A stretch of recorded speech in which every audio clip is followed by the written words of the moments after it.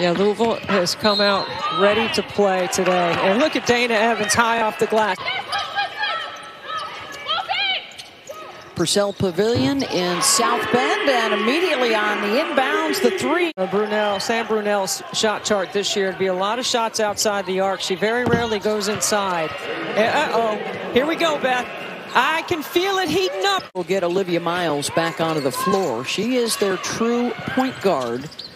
And you know, when we're talking now about selection committees, and we got the big reveal coming up after the game today. She was terrific the first matchup.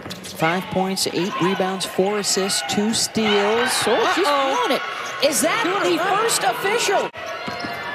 There have been some significant losses already today, but I believe the reveal is already in.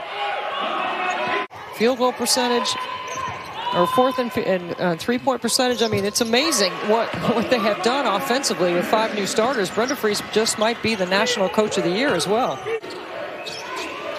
Uh, the net is interesting to me since it's the first time that tool has been being used in an unbalanced schedule year with COVID. Two for her, two for Asia Durr for LSU. Yeah. Or for uh, Louisville, excuse me. Mm -hmm. There she is with the finish, and now it's 20 points.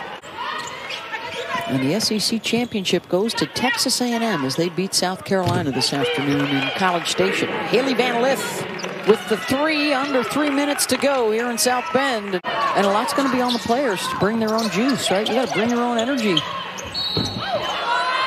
And one here for Westbeld.